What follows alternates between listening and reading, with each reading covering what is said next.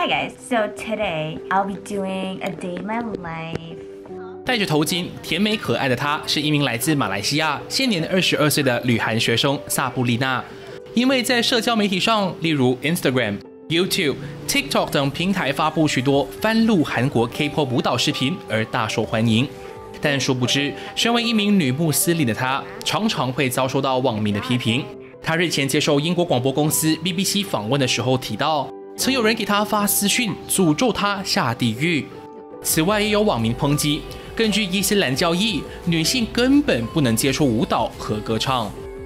但萨布丽娜说，一些人认为她不应该把自己跳舞的视频上传到社交媒体，只因为在异性面前表演会让自己被物化。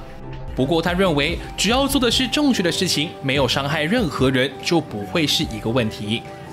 至于她最典型的象征，同时也是引起最多网民热议的头巾，对萨布丽娜来说。戴着头巾可以非常的有自信，他也强调自己热爱 K-pop 舞蹈和尊重他自己的信仰，因此才会将两者结合呈现在大众面前。